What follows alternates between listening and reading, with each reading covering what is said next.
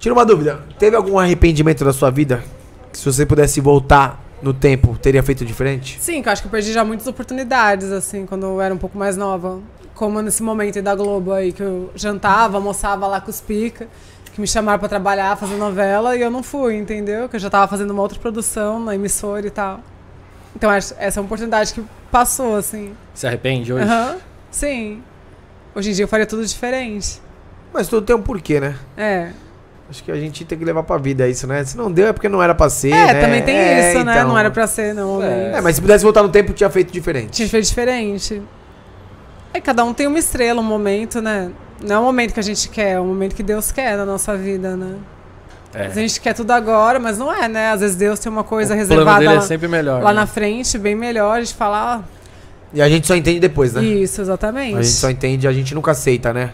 O não, o sim. Verdade? Né, Barbinha? Né? Gente que diga, né? Você falou Barbinha? Barbinha, Barbits, Barba. Barba. Ele tem vários apelidos aqui, né?